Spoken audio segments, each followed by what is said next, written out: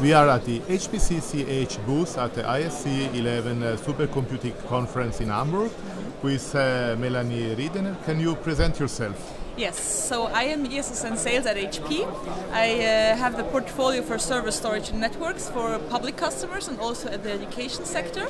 So what you see here in the back uh, are my customers, uh, are mainly universities and as I said also public sector.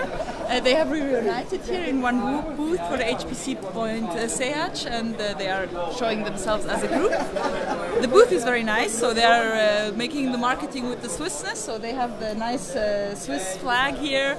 They have the postcard with the Swiss mountains showing the names of their clusters that you can also see at the bottom of the of the booth. And uh, yes, they are also offering very good chocolate, Swiss chocolate, and very good coffee. okay, thank you, Melanie. And uh, last question: What do you think about HPC in Switzerland? Can we compare with uh, other uh, European countries, or we are just a small one? No, HPC in Switzerland is definitely growing and definitely comparable also with other education sectors. And I think there's a huge potential also uh, with the reunion of all uh, all universities to grow bigger in this space. Thank you. Okay, thank you, Melanie. Thank you to you.